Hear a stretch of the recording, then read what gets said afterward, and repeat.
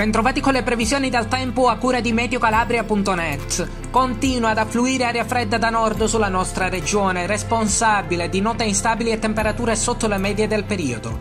Martedì 16. Al mattino piogge e rovesci possibili sul basso Tirreno, con nevicate sui monti fin verso i 1100 metri di quota, stabile altrove.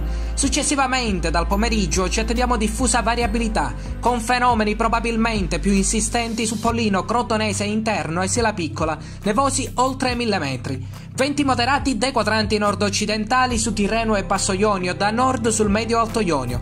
Martireno molto mosso, poco mosso lo Ionio, ma con motondosi in accentuazione dalla sera.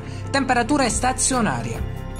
Condizioni di variabilità anche per mercoledì 17 marzo, a tratti localmente instabile su Bassa Calabria, Pollino e Sila. Possibili deboli nevicate sui rispettivi rilievi. Temperature in ulteriore lieve calo. Grazie per l'attenzione, appuntamento al prossimo aggiornamento.